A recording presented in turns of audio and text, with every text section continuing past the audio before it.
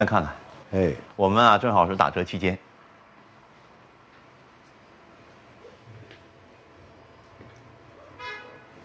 随便看看。这榨汁机多少钱？哦，这个两百六，商场卖三百多呢。那你这儿比大商场便宜几十块钱啊？便宜还不好啊？是甩卖呀，还是不想干了？不干了，我们吃什么呀？二百六啊，买一个。好好好好，您稍等啊。哎，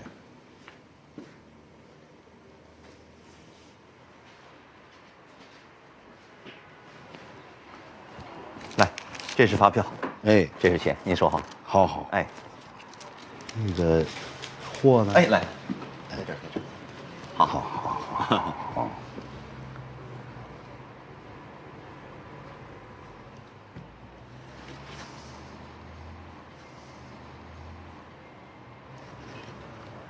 有句话我不知道当说不当说，你说，你这脸色不太好啊，是家里出事儿了吧？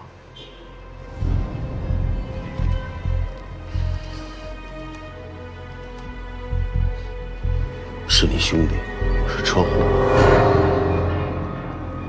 您是在网上看过我的新闻吧？网上？什么网上？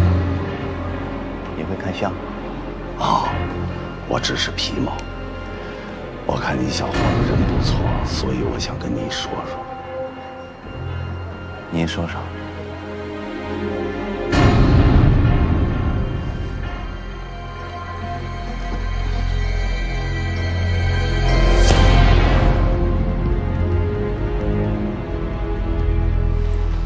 你还真是一夜暴富了，但是眉宇之间有煞气，好像有牢狱之灾。我怎么可能有牢狱之灾呢？我看看你的手，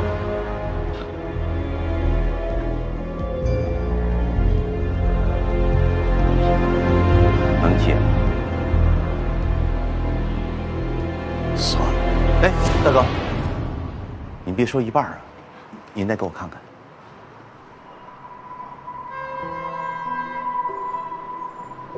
这相啊，我看的差不多了。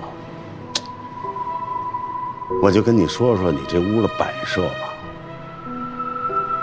你看你这两把椅子，背对着窗户，这不吉利啊。你看你这门，啊，直接对着收银台，这是最不吉利的事情。还有这打折的折字不能这么挂，你应该弄一个红色的横幅，折字写在上面，这样才吉利，这样才能大事化小，小事化了。身有身老，心有心老，明白吗，小伙？啊？行了，信不信由你啊。走了。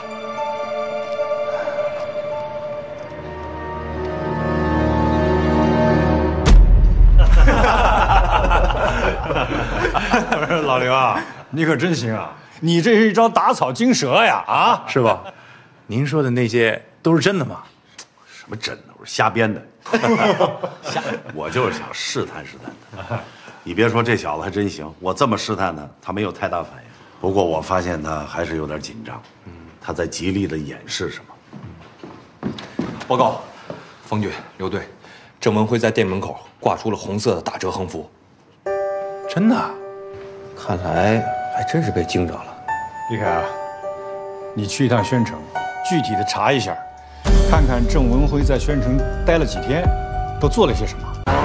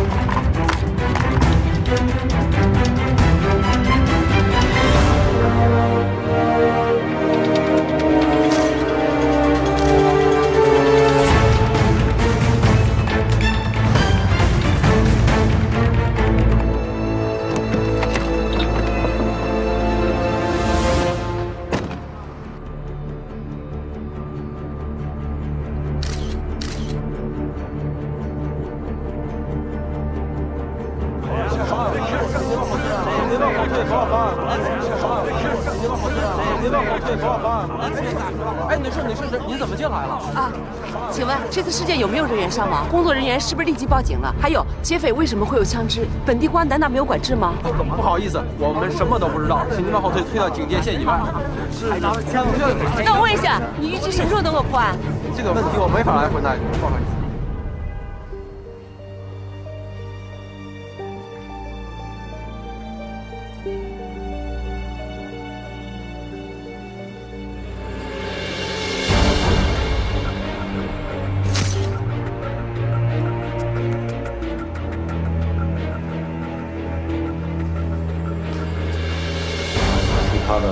其他三个都被折了。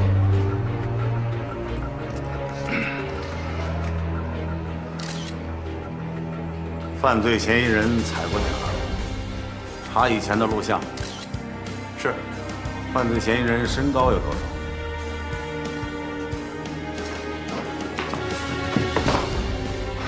一米八。为什么？我一米八，打篮球摸高三米一，就算他比我差一点儿，也应该跟我差不多高。师傅，那边有枪。假的，吓唬人的。果真是假的。把带血的玻璃和血上的脚印带回去比对。是。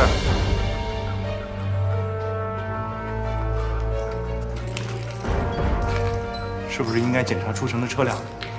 已经安排了。以这里为圆心，四十公里为线，张毅在那盯着，四十公里是不是小了？现在不是高峰期，一脚油门就过去了。让他超速。超速监控头。不好意思，不好意思，都戴黑手套的特种兵似的，好戴黑手套，好特种兵，瞬间倍儿快，咚咚一枪就一个样，雷鸣棍的枪。您可别吹谁说谁借？我们家亲戚就在里上班，一瞬间就抢没了，都你知道大概丢了多少钱吗？八百多万呢！哇，一瞬间就抢没了，知道吗？哎，特种兵，你们你看那炸弹，炸弹，你看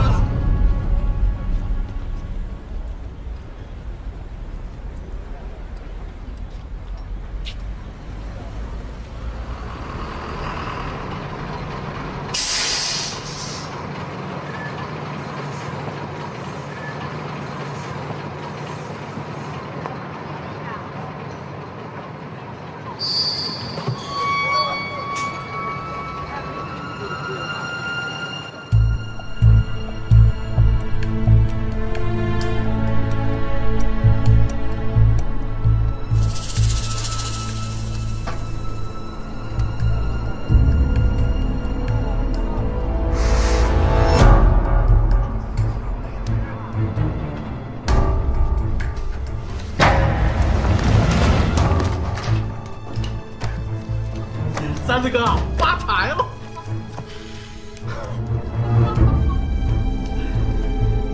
哎咱啥时候分钱呀？